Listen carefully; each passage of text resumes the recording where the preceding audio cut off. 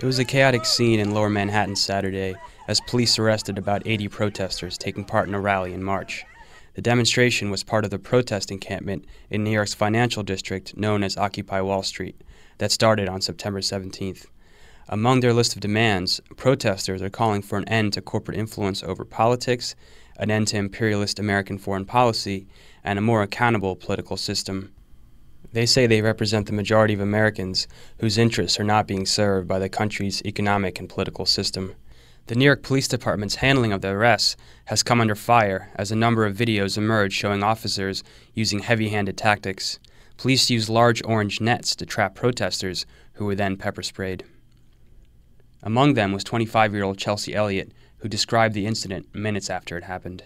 And then I turn around and I hear or like see this girl having her face slammed on the sidewalk, blood.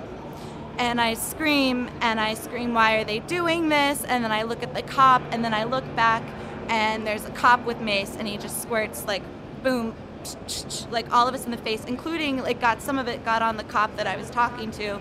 And I just fell to the ground and started sobbing. Protesters captured some of the attacks on video, including the arrest of 21 year old Bronx resident Hero Vincent. Vincent, who was released Sunday, said police attacked him when he tried to calm the crowd and organize people to leave. That's when the police just charged at me with his fist and just started, you know, swinging at me. And another policeman pushed me, and I'm backing up. And as I'm backing up, I hit the barricade, and then they come at. I look at them, they come at me. I go over, and then four policemen just start, you know, beating on me. Um, yelling at me, uh, stop resisting arrest while I'm just laying there. I'm not fighting back.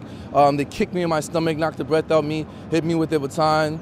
Um, they put their knees into my face, not in my head, into my face, into the ground, um, and just laughing. While other protesters were charged with blocking traffic and resisting arrest, Vincent faces the more serious charge of assaulting a police officer. But he says he's confident that the numerous videos of the incident will exonerate him, and he's determined to continue the fight against this country's economic policies if there's anything uh, called the epitome of a struggle, me and my family lived it. Uh, we were foreclosed on. Uh, my father had trouble finding a job, still hasn't found one. I had trouble finding a job, still haven't found one. Uh, my sister's in college, her tuition's doubling. They're trying to fight for her financial aid.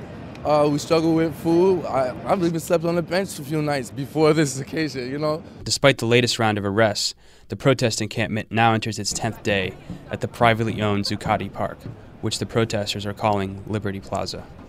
Demonstrators use the space for nightly meetings of the popular committee known as the General Assembly.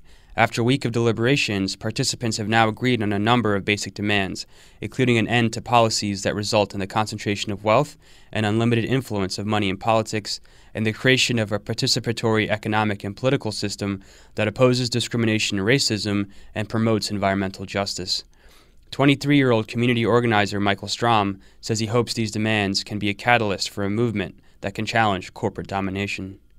So we put together these demands to be accessible and encompass all of these different forms of suffering and really bring people together so that we can begin to articulate exactly what strategies and processes we will use to, to struggle for these demands.